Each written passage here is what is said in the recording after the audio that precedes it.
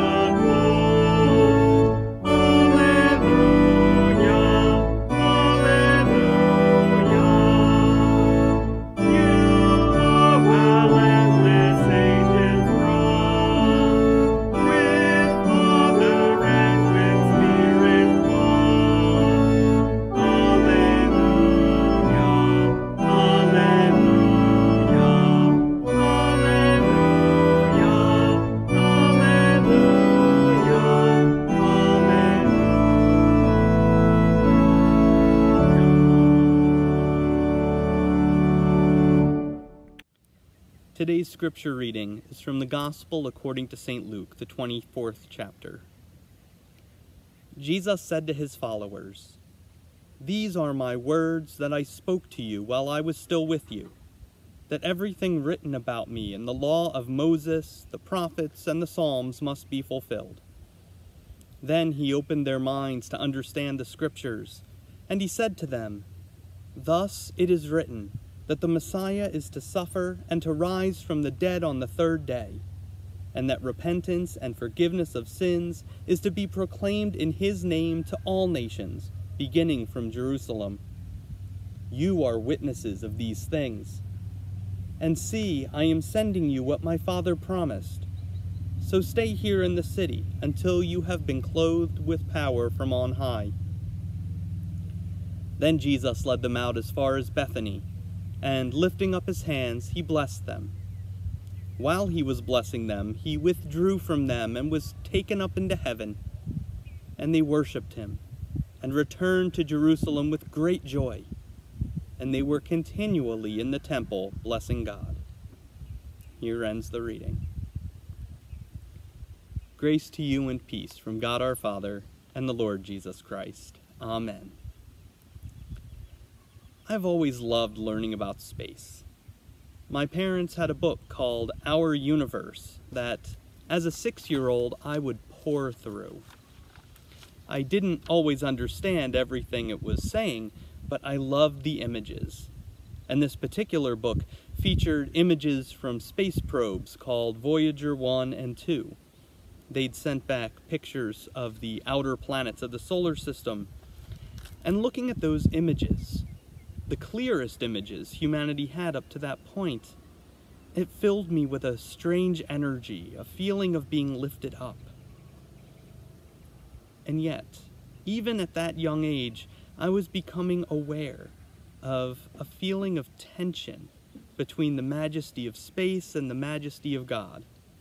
Because it was at that time that I first realized heaven wasn't a physical place above the sky. As I grew older, technology grew up with me, and by the time I sat down in my college astronomy class, we had more images and clearer images. One image in particular took my breath away. This image is called the Hubble Deep Field. It's actually a set of 342 different exposures. It covers about 1 24 millionth of the whole sky.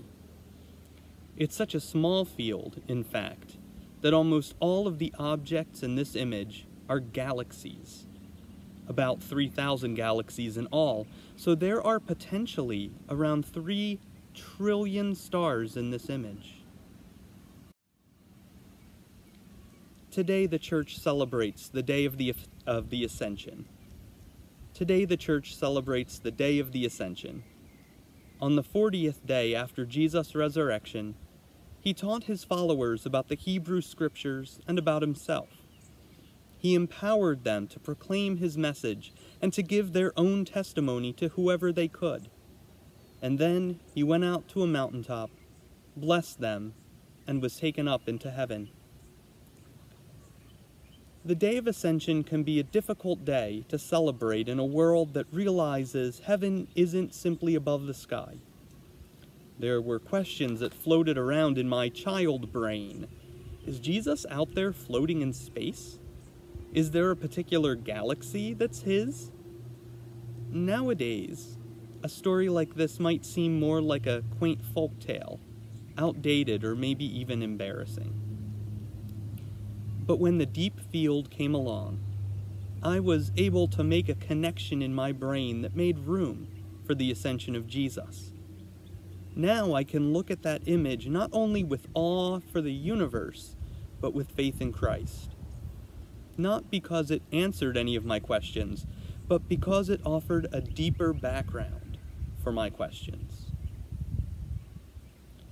Martin Luther once wrote about where Jesus went God, in his essence, is present everywhere, in and through the whole creation, in all its parts, and in all places. And so the world is full of God, and he fills it all. Therefore, Christ's body is at the right hand of God, which is everywhere. The ascension of Jesus isn't the conclusion of his life or his final act of ministry of him returning to a certain place above the sky to sit on a throne and wait until the end of everything. The ascension declares the widening of his ministry. Jesus is no longer confined to first century Judea, to be found here but not there, or then but not now. Jesus has ascended in order that he may be everywhere in the cosmos, in the scriptures, in holy baptism and communion, in human beings, even in the photographed but yet unexplored deep field. The message of ascension for me is that there is no place that Jesus Christ does not inhabit. Wherever we go, he is there. And that means our work in the world cannot be in vain. For no matter how far we enter into the world's sorrow, Jesus is there. And that means also that the future cannot be bad. For no matter how difficult life gets, even to death, Jesus is there. May we remember the good news of the ascension every day in our personal meditation, in our speaking and listening, in our call to work for the kingdom of God, in a future yet unseen and yet God filled. Thanks be to God, Father, Son, and Holy Spirit. Amen. We continue with a response from the Psalms.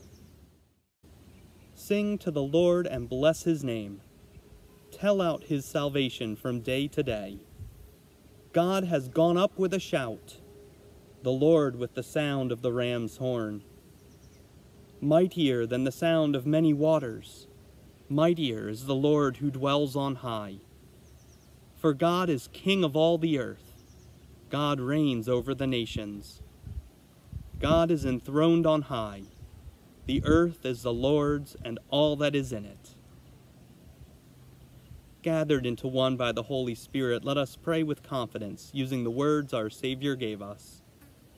Our Father, who art in heaven, hallowed be thy name. Thy kingdom come, thy will be done, on earth as it is in heaven. Give us this day our daily bread, and forgive us our trespasses as we forgive those who trespass against us. And lead us not into temptation, but deliver us from evil. For thine is the kingdom, and the power, and the glory, forever and ever. Amen.